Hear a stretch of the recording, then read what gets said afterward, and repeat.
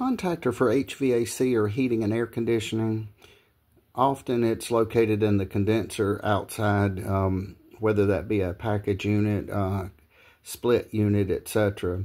Uh, checking the continuity on the uh, coil here. I'm not certain if this is a good test, but it just kind of uh, toying around with this and playing with, set, say, say hypothetically, we set the meter to the to the sound symbol and then it has the little light here so if you touch it okay I've got one probe over here and now I go over here and I take the other probe okay now when I do this this um this actually beeps as one can see when you take I've got this kind of cockeyed in here touching this side here so when we take this side here this um and then I'm not certain if that's ohms, but if that's 18 or 19 ohms, it should be the contactor may be good or the coil on the contactor. Let me rephrase that.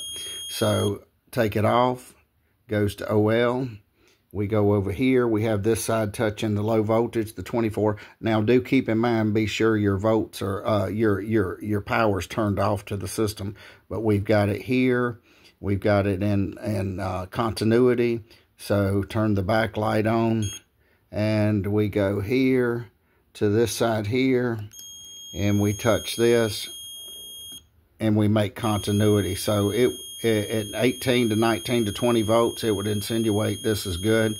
So um, this is, um, I'm, I'm not certain if this is a good way, but it's good to ohm it out. You can ohm it out, but this may be giving you the ohms reading here on this particular meter, but that's not to say that all meters are alike.